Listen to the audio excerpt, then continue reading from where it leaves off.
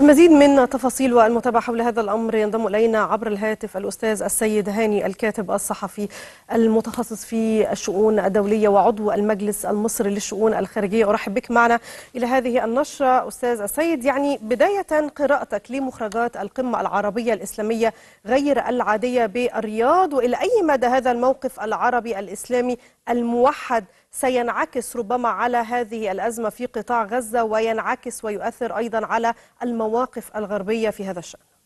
تحياتي لك يا أستاذة دينا ولفريق العمل بالبرنامج وللسادة المشاهدين. القمة العربية الإسلامية الطارئة التي عقدت بالأمس في مدينة الرياض أصدرت 31 قرار كل هذه القرارات تندد بالعدوان الإسرائيلي على غزة وبالفظائع والمذابح التي تجري في هذا القطاع وتطالب المجتمع الدولي ومجلس الأمن وكافة المنظمات الدولية المعنية باتخاذ الإجراءات اللازمة والفاعلة لإجبار إسرائيل على وقف إطلاق النار.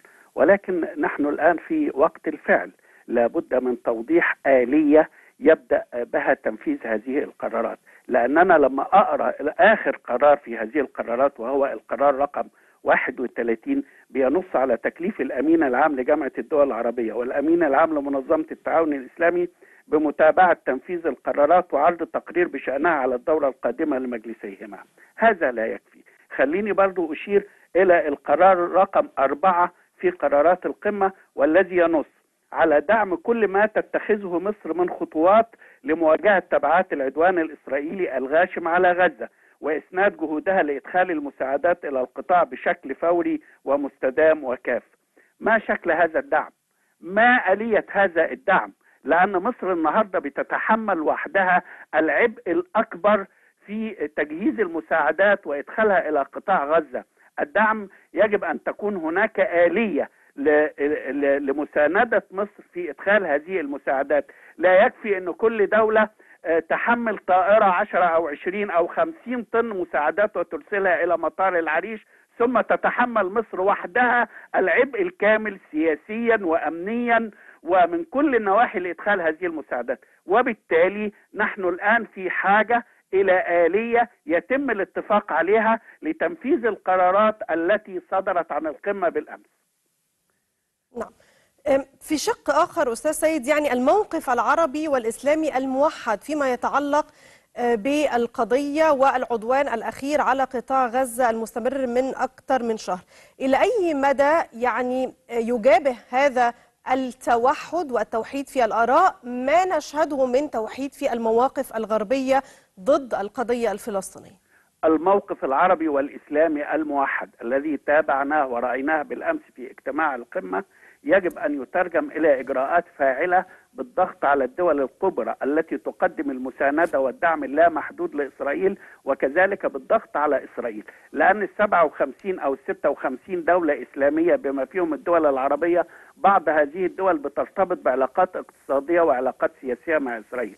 يجب على هذه الدول أن تمارس الضغط على إسرائيل لإجبارها على وقف إطلاق النار. نعم في فيما يتعلق وحضرتك تتحدث عن ضرورة ترجمة هذه المواقف إلى يعني قرارات ملزمة أو تحركات ملزمة على أرض الواقع. كان من بين مخرجات هذه القمة أيضا مطالبة لمجلس الأمن الدولي باتخاذ قرار حاسم وملزم يفرض وقف العدوان ويكبح جماح السلطة الاحتلال الإسرائيلي. لأي مدى يعني ترى أن هذا ممكن؟ شوف يا أستاذة دينا إحنا لدينا ترسانة من قرارات مجلس الأمن التي لا تسمح لإسرائيل بإقامة المستوطنات أو الاعتداء على الأراضي الفلسطينية أو مدينة القدس الشرقية. وإسرائيل بتضرب بكل قرارات مجلس الأمن عرض الحائط وكذلك قرارات الجمعية العمومية وآخرها القرار الذي صدر يوم 26 أكتوبر الماضي بإجماع 121 دولة في العالم لمطالبة إسرائيل بوقف إطلاق النار وهدنة إنسانية إلى آخره. ولكن يعني خلينا نقرأ خطاب الرئيس عبد الفتاح السيسي.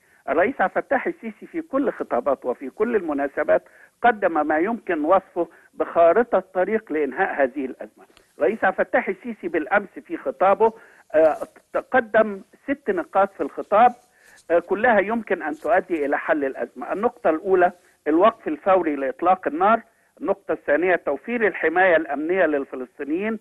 النقطة الثالثة وقف التهجير القسري للفلسطينيين أو إجبارهم على ترك منازلهم والنزوح إلى مناطق أخرى. النقطة رقم أربعة السماح بإدخال المساعدات الإنسانية إلى قطاع غزة بشكل سريع وآمن ومستدام.